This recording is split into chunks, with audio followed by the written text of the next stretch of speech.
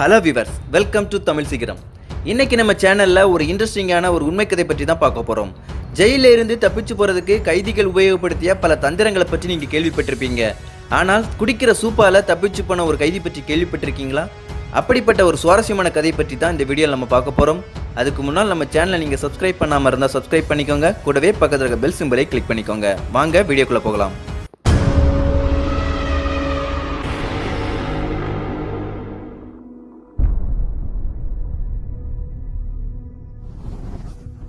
இந்த கதை ஆயிரத்தி தொள்ளாயிரத்தி முப்பத்தி ஆறாம் ஆண்டு ஜப்பானில் உள்ள ஆமோரி என்ற இடத்தில் நடந்த கொலையிலிருந்து தொடங்குது. இந்த கொலையை பண்ணதா யோசி சிராட்டோரி என்பவரை கைது பண்றாங்க. இந்த நபர் தான் அந்த கொலையை பண்ணலன்னு சொன்னாலும் அதை நிரூபிக்க எந்த ஒரு ஆதாரமும் அவர்கிட்ட இல்ல. இதனால நீதிமன்றம் அவர்தான் குற்றவாளின்னு முடிவு பண்ணி அமோரி சிறையில அடைக்கிறாங்க. இந்த அமோரி சிறையில் இருக்க சிறை காவலர்கள் இவர் கொலை குற்றவாளின்னு தெரிஞ்சதும் இவரை ரொம்பவே கொடுமை பண்றாங்க.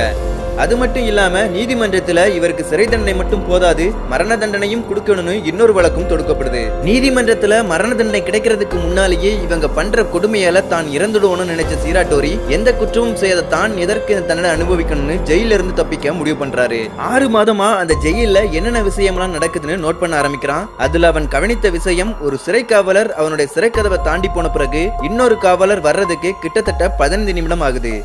இந்த பதினைந்து நிமிடத்துல தப்பிச்சு போறதுக்கு முடிவு பண்றான். முதல்ல தன்னுடைய சிறைக்கதவின் பூட்டை உடைப்பதற்காக தன்னுடைய அறையில் குளிப்பதற்கு உபயோகப்படுத்தும் வாலியோட கைப்பிடியை உடைத்து அதன் மூலமா பூட்டை உடைத்து அங்கிருந்து தப்பிச்சு போயிடுறான்.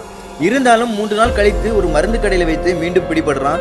அது மட்டும் இல்லாம சிறையிலிருந்து தப்பிச்ச காரணத்தால அவனுக்கு மரண தண்டனையும் உறுதி செய்யப்படுகிறது. இந்த முறை கூடுதல் பாதுகாப்பான அக்கீரா சிறைக்கு மாற்றப்படுகிறான்.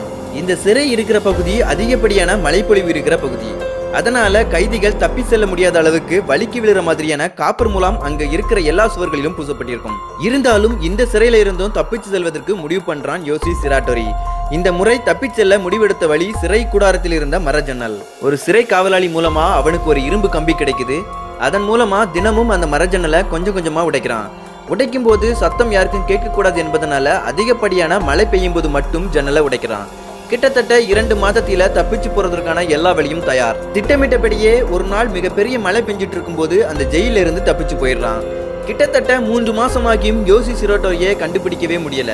மூன்று மாதம் கழித்து தப்பிச்சு போறதுக்கு இரும்பு கம்பி கொடுத்த காவலாளியை பார்க்க வரும்போது மீண்டும் கைது பண்ணி சிறையில் அடைக்கப்படுகிறான். இந்த முறை பாதுகாப்பு பல மடங்கு அதிகரிக்கப்படுகிறது. அவனுடைய சிறை கதவுல சிறை காவலர்கள் அவனை கண்காணிப்பதற்கு ஒரு துவாரமும் உணவு கொடுப்பதற்கு மற்றொரு துவாரம் மட்டுமே இடம்பெற்றிருக்கு. அது மட்டும் இல்லாம அவனுடைய இரு கைகளும் கால்களும் எப்பொழுதும் விலங்கால கட்டப்பட்டிருக்கு. இதனால சாப்பிடுவதற்கு சூப்பு மட்டும்தான் உணவா கொடுக்கப்பட்டிருக்கு. ஆனால் இந்த முறை குடிப்பதற்கு கொடுத்த சூப்பை தான் ஆயுதமா எடுத்திருப்பான்னு யாருமே நினைச்சு பார்த்திருக்க மாட்டாங்க. சூப்புல உப்பு அதிகமா இருந்ததுனால தினமும் பாதி சூப்பை குடிச்சிட்டு மீதி இருக்கிற சூப்பை கால் மற்றும் கையில இருக்க விலங்குல ஊத்தி இருக்காரு இதனால கொஞ்ச நாள்லயே விலங்கு துருப்பிடிச்சு அதனுடைய வலுவை இழந்து போயிருக்கு. இரண்டு மூன்று நாளா சூப்பு குடிச்ச கப்பு வெளியே வரதை பார்த்த சிறை காவலர்கள் சிறை கதவை திறந்து பார்க்கும்போது தான் மிகப்பெரிய அதிர்ச்சி காத்திருந்தது. இந்த முறையும் காவலர்கள் முகத்துல மண்ணை தூவிட்டு மீண்டும் அவன் தப்பிச்சு போயிட்டான் என்பது தெரிய வந்தது. அங்கிருந்து தப்பிச்சு போன சீராட்டோரி நகரத்துக்குள்ள போகாம காட்டுக்குள்ளேயே விலங்குகளை வேட்டையாடி அங்கிருந்த குகையிலே கிட்டத்தட்ட இரண்டு வருடமா வாழ்ந்திருக்கான். இதற்கு மேல நகரத்துக்குள்ள போனா யாராலையும் தன்னை அடையாளம் காண முடியாது என்பதனால நகரத்துக்குள்ள போக முடிவு பண்ணியிருக்கான். அப்படி நகரத்துக்கு போயிட்டு இருக்கும்போது பசியில வழியில இருந்த தக்காளி தோட்டத்துல தக்காளியை பறிச்சு சாப்பிட்டிருக்கான். இதை பார்த்த தோட்டத்துக்காரர் அவனை தாக்கி இருக்கிறாரு அதனால இவன் திருப்பி தாக்கியதுனால அந்த தோட்டத்துக்காரர் எதிர்பாராத விதமா இறந்து போயிடுறாரு. இதனால நீதிமன்றத்துல மரண தண்டனை கொடுக்கப்பட்டு மீண்டும் சிறையில் அடைக்கப்படுகிறான்.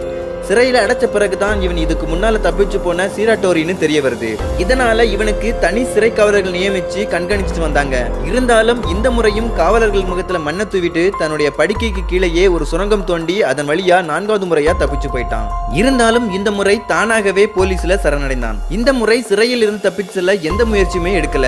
இதனால அவனுடைய நன்னடத்தை காரணமா மரண தண்டனை இருபது ஆண்டுகால சிறை தண்டனையாக மாற்றப்பட்டு விடுவிக்கப்பட்டான். சிறையிலிருந்து வெளிவந்து மூன்று வருடத்திலேயே சீராட்டோரி மரணமடைந்தான். இந்த பிரிஷன் எஸ்கேப்பை பற்றி நீங்க என்ன நினைக்கிறீங்கன்னு கீழே கமெண்ட் பண்ணுங்க. இந்த வீடியோ பிடிச்சிருந்தா லைக் பண்ணுங்க. உங்களுடைய ஃப்ரெண்ட்ஸுக்கு இந்த வீடியோவை ஷேர் பண்ணுங்க. மறக்காம சப்ஸ்கிரைப் பண்ணுங்க. தேங்க்ஸ் ஃபார் வாட்சிங்